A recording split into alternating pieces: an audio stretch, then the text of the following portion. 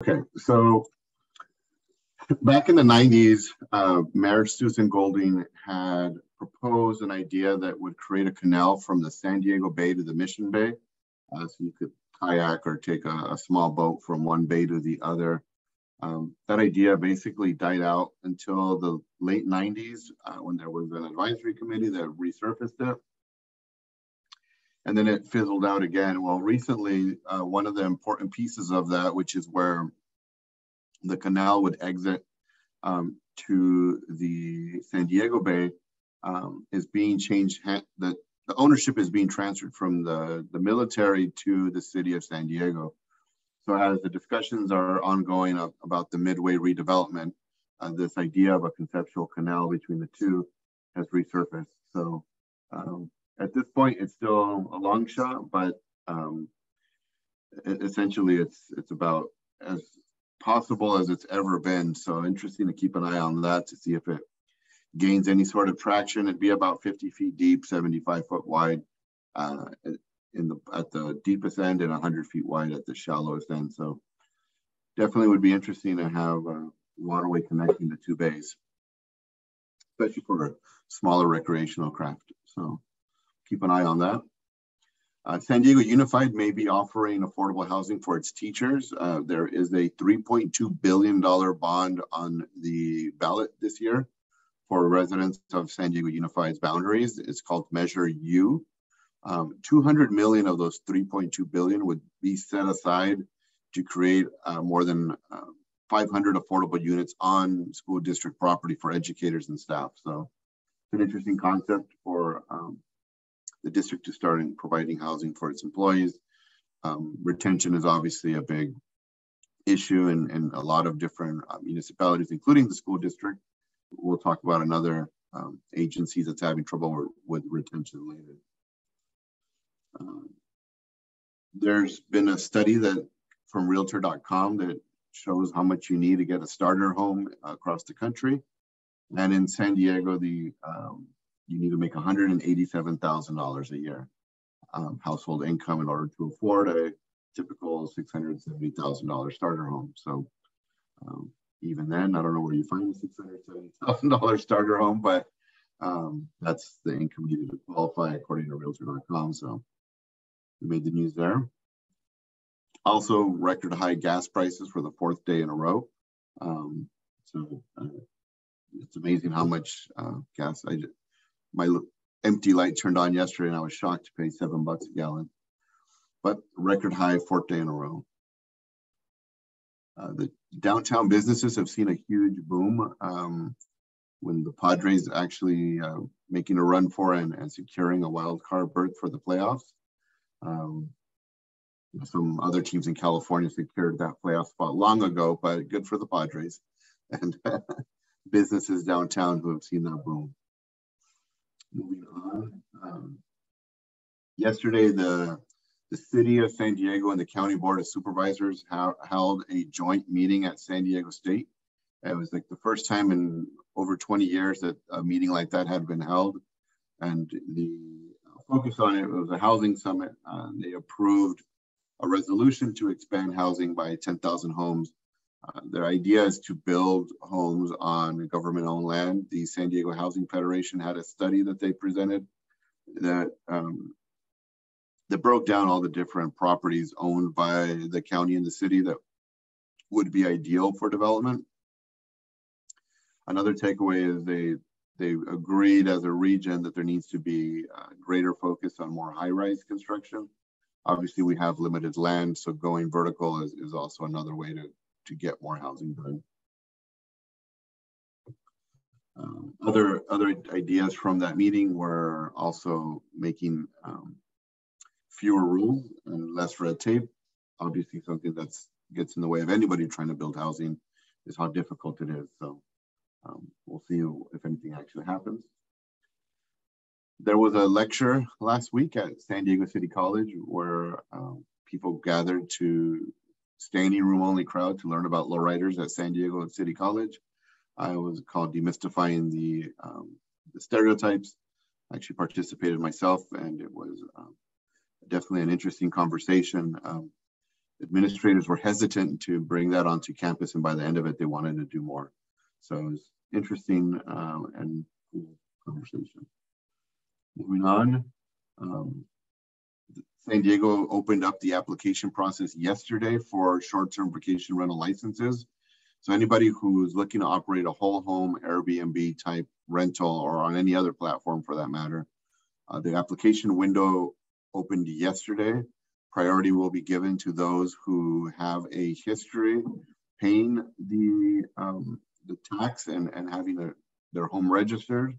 Uh, additional points will also be given to the amount of years that you've already been operating an Airbnb and several other things that give you priority. So best way to describe it is like when they do the, the, um, the lottery for NBA draft picks and there's several little balls in the thing with different teams' names on it. Um, the more boxes you can check off, the more entries you get into the lottery. So it doesn't mean that you have to have any experience to, get in there. And if you're lucky, you can get a license with no experience. The odds are just better if you have experience and you've been doing things right as far as paying taxes and, and registering as a business with the city, uh, et cetera. So windows open uh, for all tiers. Anyone, whether or not it's a whole house rental, can start the application process now. Um, the categories are part-time, home sharing, whole home, and Mission Beach whole home. Uh, Mission Beach got its own carve out with a little more um, allowed for the area than the rest of the city, uh, since there was already a lot of existing home rentals to begin with. Minimum wage in the city will increase to $16.30 effective January 1st.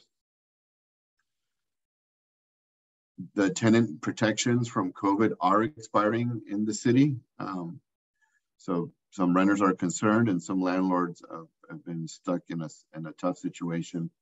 Uh, but they did just phase out September 30th. So those landlords who have been stuck have options and those tenants um, who have been utilizing the protections are obviously in a tough situation as well. So that's an update there. And an ongoing, uh, this is going to be the, the final left before San Diego City Council turned 100% Democrat. Uh, the difference is that uh, although both candidates running in District 6, Tommy Hough and Kent Lee, uh, definitely have um, distinguished each other over their um, their view on housing and construction. Um, I think uh, Kent Lee has positioned himself more pro-housing and, and Tommy uh, Hough has positioned himself more uh, in protecting the, uh, the communities as they are, uh, which is going to be a big issue, um, especially because homelessness is, is pulling as the top concern, housing as the second top concern. And um, we'll see where, where the cards land on this one. But um, either way, both are Democrats with distinct views, but uh, the council will finish um, that conversion next year uh, more on that right there. Um, those of you looking to get a contract with the city, they are looking for a real estate expert. I've joked many times as updating all the different real estate scandals the city has that they need some better advice. Well, they must have heard me because they're looking to hire somebody to give that better advice to the independent budget analyst. Uh, they want somebody who can analyze all their commercial deals um, and see if it makes sense for the city from a, a very uh, practical standpoint and not a um, just sign on the dotted line and trust me standpoint. So that they are looking for for contracting uh, professional um, real estate advisor to advise them and on these big real estate deals of hundreds of millions of dollars. So opportunity for anybody out there with uh, experience and know how to analyze those types of deals. Moving on, Several schools across uh, the city are going to be testing a pilot as community schools. There's five schools that, including Hoover High School, that will be uh, in the pilot program, and another five, uh, including Sherman Elementary, that will be in the follow-up uh, year two program. The idea is to bring more resources and provide wraparound services, uh, healthcare, mental health care, um, and other um, after-school programming um, and basically making sure the, the school is connected with the surrounding community organizations uh, in this new model called the community schools. Um, as I mentioned, five schools are, are getting it started and um, other five are, are lined up. It's a $3 billion partnership program through the state of California. Uh, and if it is successful, it will expand uh, to other schools around the district. I already mentioned Padres clinched the playoff only the second time since 2006. Nothing to see there, moving along. Um, uh, front page Sunday of the newspaper was about um, they, the UT did a research study about what zip code, cash, LLC, uh, big Wall Street type investors were buying in. And um, you see a photo there of, of, um, of City Heights. And also um, you can see that a local realtor was featured on the front page um, based on uh, some comments given for the article. So front page news.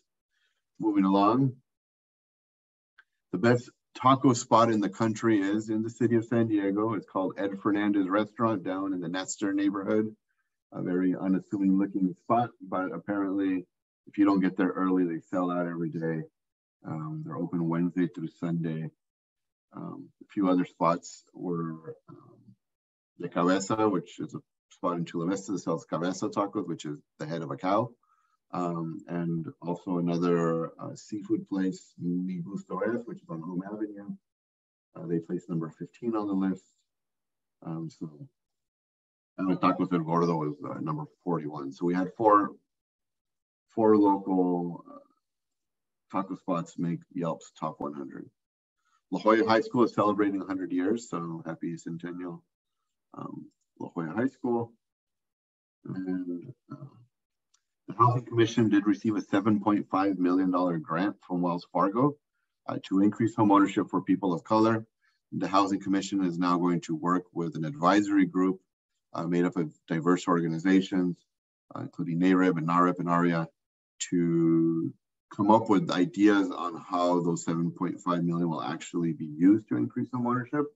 Um, but it um, it is is pretty open ended, which is cool. A lot of times they have already kind of put them in a box. It's required for down payment assistance or whatever. But in this case, um, the, um, the, the committee will, will help advise on that.